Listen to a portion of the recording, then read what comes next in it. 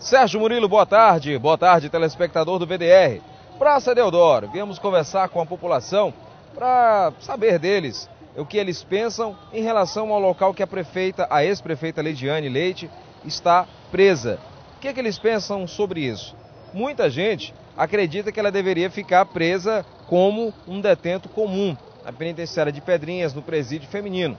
Outras pessoas acham que não, que ela deveria ficar em outro presídio com relação à segurança dela, à integridade física.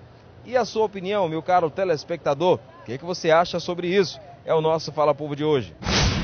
Eu acho que é uma contradição, de certa forma, porque eles estão tratando a população em geral, que não são políticos, de uma forma inferior, enquanto os políticos, que eram para ser todos de certa forma igual, segundo a Constituição, estão colocando ela em outro lugar baseado em segurança, que todos deveriam ter condições, que a, o presídio deveria ter condições boas para todas as pessoas.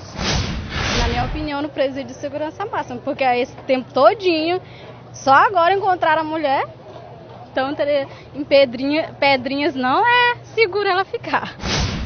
Uma penitenciária comum, com certeza.